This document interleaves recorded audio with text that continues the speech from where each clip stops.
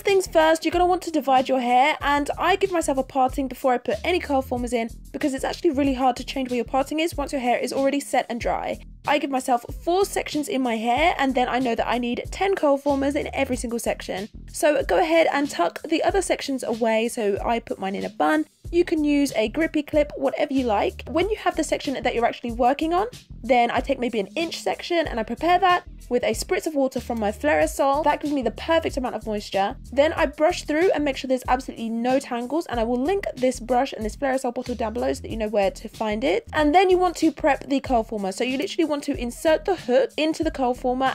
So it's really, really easy to do and then you just want to put the hook around the hair and you push the Curlformer up over the hook and pull the hook through the Curlformer and it pulls the hair through. And it's really really easy. You can do it on other people too. So I'll just show you here on my sister.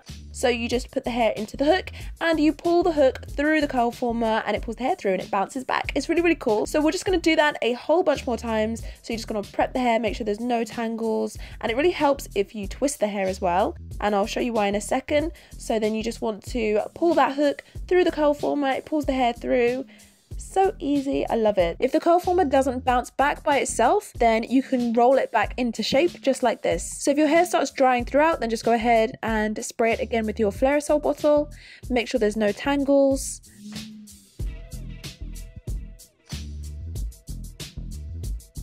So this trick that I use where I'm twisting my hair, I just want to show you again. You twist your hair so that it all goes into the hook really easily. Twisting the hair makes it really compact and it ensures that there's no flyaways or loose pieces of hair that are going to get caught or tangled inside the Curlformer. So if you just twist it at the top, it makes sure that it goes through really, really smoothly. So that's why I twist each piece of hair every time. It's not completely necessary to the curl or anything, it just helps it go through with the hook. And the whole process of putting them in maybe takes me about 40 minutes, but I am getting quicker and I think I can probably get this down to about 20 minutes in total. So when you're done, you're to have around about 40 Curlformers on your head and you're just to leave those until they're completely dry. I actually slept on mine overnight. It's not even uncomfortable. I've done it maybe like four or five times. It's really squishy, so it's fine. Then when they're completely dry, you can take them out. So what you want to do is like squish the grippy piece at the top of the Curlformer and so that it just releases its grip on your hair and then you can just slide it out and you have these perfect ringlet curls. So you just want to go ahead and take all of those out.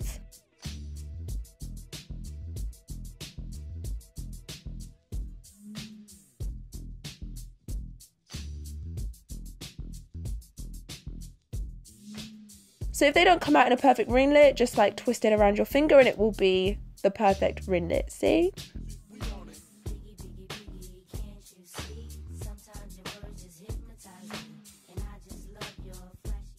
So when they're all out, you'll have a full head that looks like this. So just spritz that with a bit of hairspray, make sure those don't come loose. Or if you were clever, then you could have used some setting lotion before you put the Curlformers in, which I actually forgot to do this time. And then I go ahead and I separate the curls just to give myself a little bit of volume and to make them look a little bit less thick and chunky. I wanted to have more individual curls.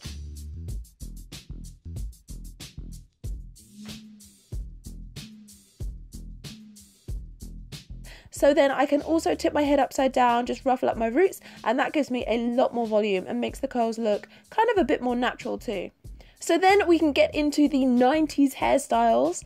So for me, that was a big, thick headband. I think I saw this on Saved by the Bell and I just really love the style. So I'm to try my hardest to do a bow with this ribbon. So I just tie my hair back with this. I leave a piece out to give myself a bit of a quiff because I really like that look. And then I just tie this in the best bow that I can. If you already have a hairband that has a bow on it, then that's absolutely perfect. That will give you a much better effect than my little makeshift bow did there. But you can see the kind of thing that I'm going for right here my Saved by the Bell high volume, springy co 90s look.